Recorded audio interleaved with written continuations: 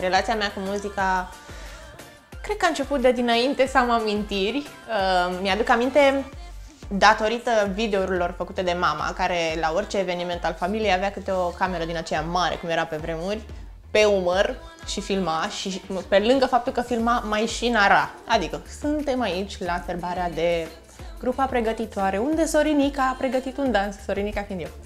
Deci, practic, de atunci a început uh, dragostea pentru muzică, față de muzică. Cântam melodiile lui Michael Jackson într-o limbă total necunoscută, o limbă proprie. Și cred că atunci când mi-au pus tot, uh, da, tot datorită videourilor mărturie făcute de mama, știu că am răspuns la întrebarea ce vrei să te faci atunci când vei fi mare și am spus cântăreață și businesswoman.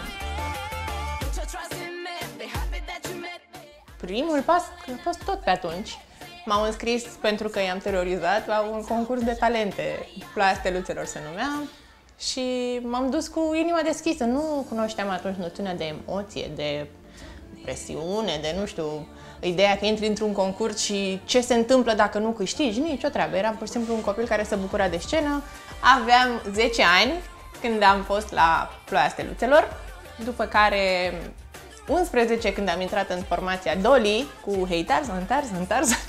Sigur, sigur, dacă aveți vârsta mea știți melodia aia. Uh, a fost o perioadă foarte frumoasă care a durat vreo 4-5 ani împreună cu toate fetele din trupa Dolly.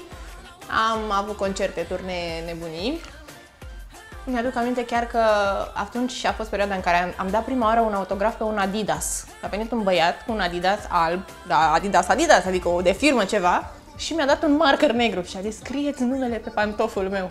Cum să scriu pe pantoful tău? Da, da, da, da, da, sunt mare fan. Și am scris așa cu inima îndoită, Sorina, că așa mă numeam atunci. N-aveam numele de scenă sore, dar mai târziu, în uh, final de liceu, am mai fost la un concurs, mi-au plăcut mult concursurile, Um, și de, după acel concurs am intrat într-o formație care se numea Crazy Win, care a fost și primul breakthrough așa pe radio. După care am intrat în La La Band, în aceeași perioadă m-am cunoscut și cu Smiley, am semnat uh, și am lansat prima piesă solo, odată cu primul episod din La La Band, din Pariu cu viața.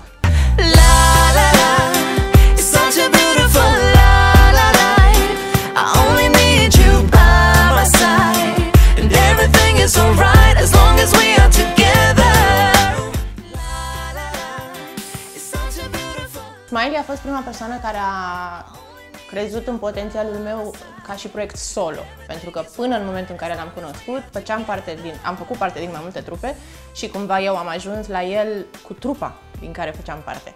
Și Smiley, dacă ajungeți să-l cunoașteți sau dacă l-ați observat uh, îndeaproape la, la emisiunile din care face parte, ați văzut că este un om foarte sincer și direct, adică spune pe față ce are de zis. Și așa mi-a zis și el. Mi-a zis, băi, eu cred că tu ar trebui să mergi solo. Și în momentul ăla, n-am dai seama, am venit cu doi băieți uh, din, din trupa din care făceam parte. Zic, păi da, dar noi suntem o trupă. Am înțeles. Dar eu te văd solo. Dacă vrei să semnezi cu mine, semnează solo. Și iată, atunci aveam 19 ani și am zis, păi oricum eu dintotdeauna mi-am dorit să fac asta, băieții nu știau exact încotro să apuce în momentul respectiv. Am vorbit cu ei, mi-am strâns mâna și am mers mai departe. Și da, ceea ce s-a, s-a schimbat din acel moment este faptul că am căpătat o claritate, în sensul că am înțeles uh, ce mi se potrivește, pentru că na, era și vârsta, eram adolescentă, nu prea știam eu multe, vroiam de toate și cât un pic din, din toate. Uh, și am, am învățat să-mi dezvolt tot ceea ce ține de songwriting, pentru că deși am compus din totdeauna, cu el am înțeles că instinctul e ok, uh, direcția creativă e ok, dar trebuie totuși un pic de organizare. Și nu știu dacă el știe, dar cred că m-a transformat, a, a contribuit la omul organizat care sunt eu azi.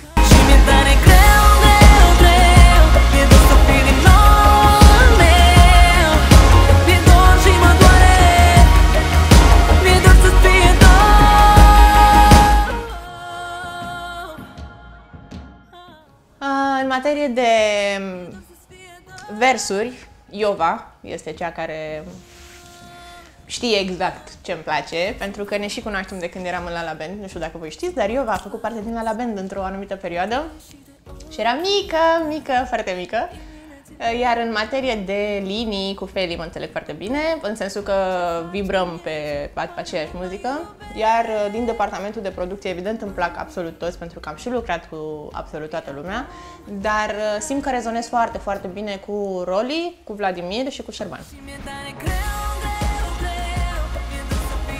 Să zicem așa, umblă vorba despre mine cum că aș fi dificilă. Corect, dar nu foarte dificilă, pentru că reușesc să mă mulez și pe, pe starea colegilor mei. Și aici îți dau exemplu simplu, când am zis despre Șerban, Vladimir și Roli, toți trei sunt super diferiți. Dar în același timp, faptul că ei sunt diferiți uh, mă provoacă și pe mine să fac muzică diferită cu oricare dintre ei.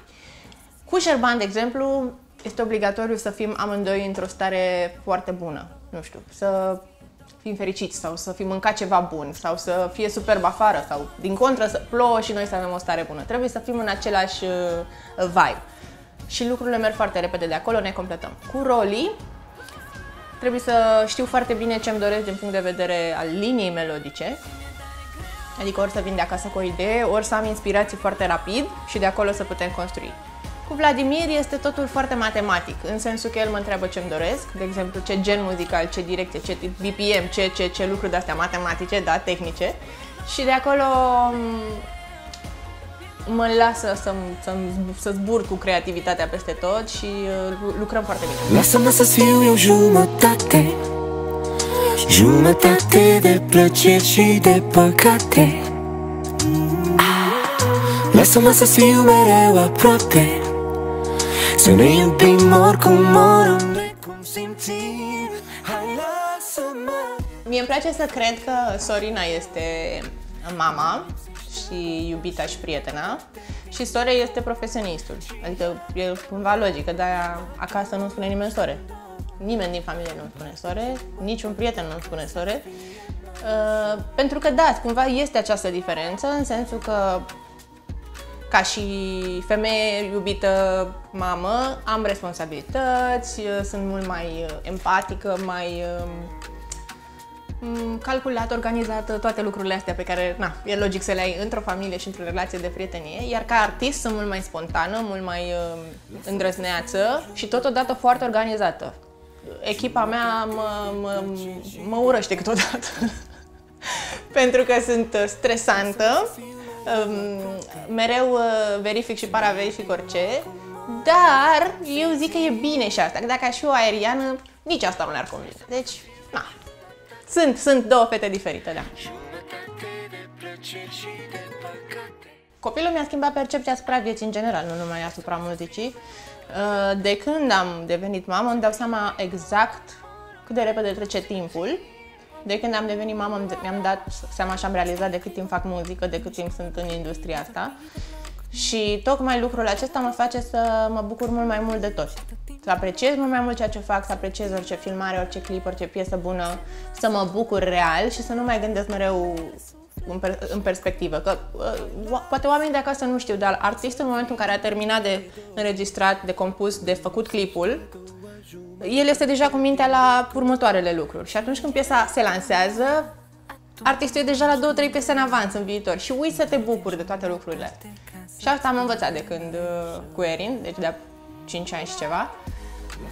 Și muzica mea e mai veselă, cred eu, de când sunt mamă. Mi-e greu acum să scriu, mi-e, mi-e greu, dar totuși o fac, să scriu uh, balade. Um, toți artiștii toți, de fapt, uh, compozitorii care sunt și cântăreți își uh, trag toate, uh, își trag toată inspirația din trăirile lor și recunosc că lucrurile triste pe care le scriu, le scriu din poveștile prietenilor mele. Să fiu sinceră, îmi doresc că atunci când Erin va fi mare, mare, mare, mare, să se gândească și să privească cu foarte mare mândrie la trecutul mamei ei. Adică, știe, dacă atunci când eram mică îmi doream să îmi mulțumesc părinții, să îi fac mândri, chestia cu care cu toții am crescut, acum misiunea mea este să îmi fac mândru copilul.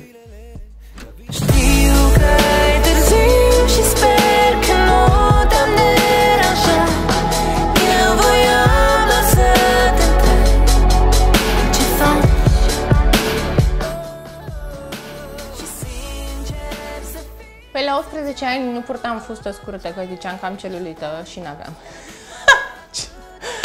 Așa. Uh, la 18 ani mi era greu să stau dreaptă și acum am e, dar acum sunt mai conștientă. Așa. Dar la 18 ani nu aveam teama de eșec.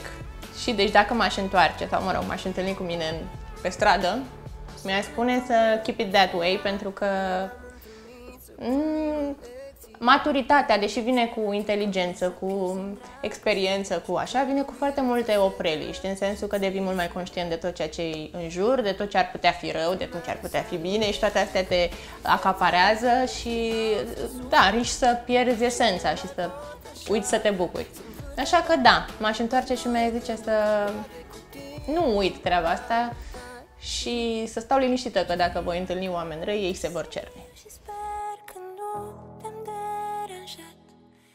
Iubirea este importantă în viață. Din ea vine orice. Dacă nu ești fericit, dacă nu iubești, dacă nu ești iubit, mă rog, și sănătatea, evident, aia de fapt e prima. Dar altfel, așa ca și cor, ca și esență, nu poți să faci nimic dacă nu iubești. Dacă nu-ți iubești pa, profesia, era să zic pasiunea, da, pentru mine pasiunea e profesia. Da, iubirea.